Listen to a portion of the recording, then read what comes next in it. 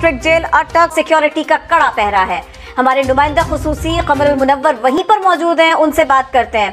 कमर इमरान खान की खुद उनकी वजह से भी और अब चूँकि सदर साहब पहुँचे हैं वहाँ पर, उनसे मिलने के लिए इसलिए भी कड़ा पहरा है। दूसरे ये कि इनके अलावा भी कुछ दीगर लोग होंगे, क्या वो भी मुलाकात के लिए आए? कौन कौन आया है यहाँ?